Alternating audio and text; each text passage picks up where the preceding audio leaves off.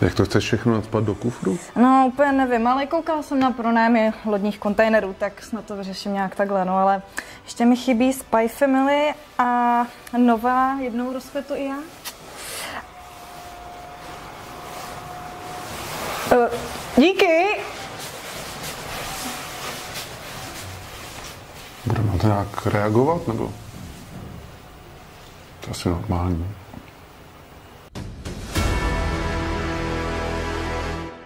Dnešní epizoda je pro Kačku Kohoutkovou na nějakou dobu ta poslední, protože nás opouští, odjíždí do Japonska. Kačku, co tam budeš dělat? Eh, Já tam budu studovat na japonské univerzitě literaturu, kulturu a podobně a budu tam hodně jíst a hodně nakupovat a budu turistit jako správný Čecháček.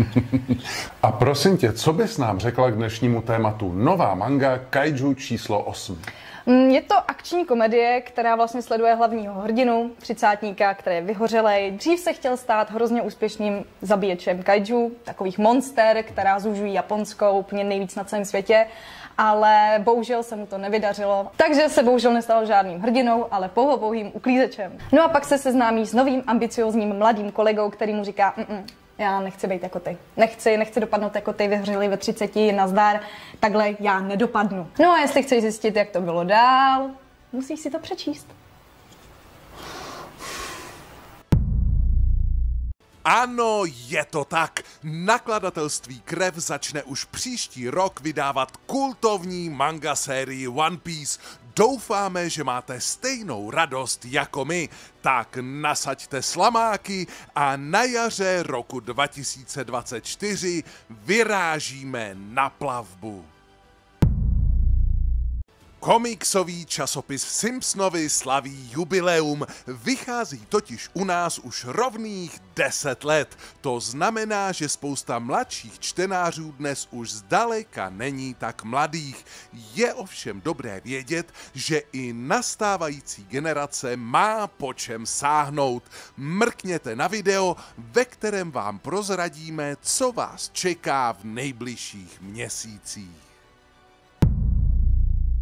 Pokud jde o obří nestvůry, žádná země s nimi nemá tak bohaté zkušenosti jako Japonsko. Jejich útoky jsou zde takřka na denním pořádku.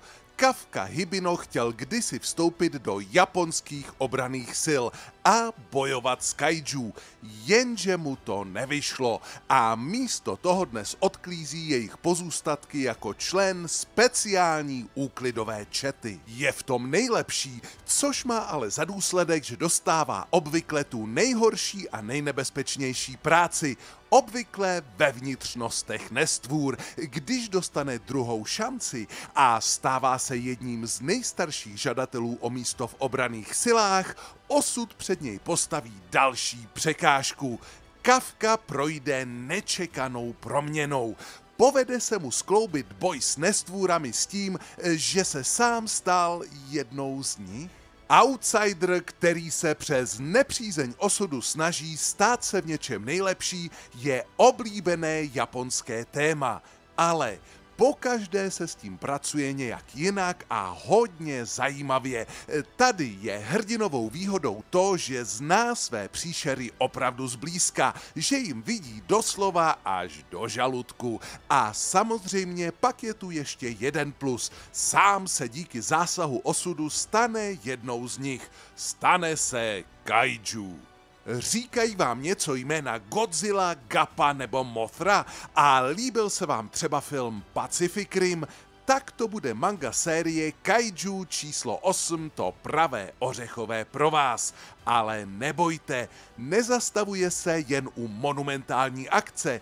Jako u většiny podobných sérií, i tady je hodně důležitý růst hrdiny, e, a to nejen ten fyzický, a jeho vztahy s ostatními lidmi, kteří sebou také vláčí své vlastní problémy, sny a touhy.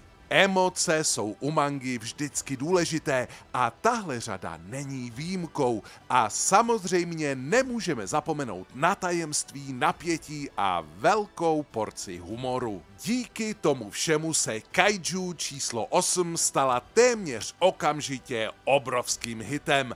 Líbily se jak postavy, zvláště hrdina, který se svým dospělým věkem vymyká z obvyklého manga průměru tak příběh, akce a samozřejmě i detailní a dynamická kresba. S pouhými deseti díly se už celé řady prodalo víc než 11 milionů kusů a zájem stále roste. Mezi mnoha jinými oceněními, jako je Tokyo's New Manga Award, Geeks de Oro, Next Manga Award, Ayumi Comics Award, byla série nominována i na ceny Willa Eisnera a Osamu Tezuki. A už na příští rok se chystá i anime seriál od jedné z nejlepších společností v oboru, firmy Production IG, stojící za filmy jako Ghost in the Shell, Neon Genesis Evangelion, FLCL a která také vytvořila i animovanou sekvenci do Tarantinova snímku Kill Bill a přispěla do Star Wars Visions, takže je opravdu vidět, že adaptace téhle mangy bude prvotřídní. Ovšem, originál je originál a už koncem září budete moci zažít zápas obřích monster téměř na vlastní kůži. Zapomeňte na Godzillu i na King Konga. Přichází Kaiju číslo 8. Tento týden hrajeme o první díl mangy Kaiju číslo 8. Soutěžní otázku najdete v popisku videa. Přejeme hodně štěstí. No a budeš mít v Japonsku i čas věnovat se videům o manze? No samozřejmě, budu tam chodit do různých muzeí, určitě budu dělat nějaký fotečky a podobně. Normálně ti závidím.